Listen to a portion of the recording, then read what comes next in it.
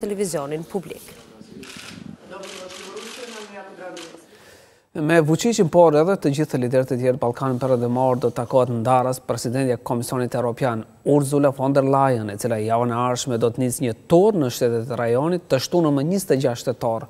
Ajo do të jetë në Kosovë, siç bëhet e ditur në kalendarin e publikuar në web faqen e Komisionit Europian, ajo do të takohet me presidenten Vjosa Osmani dhe kryeministrin Albin Kurti.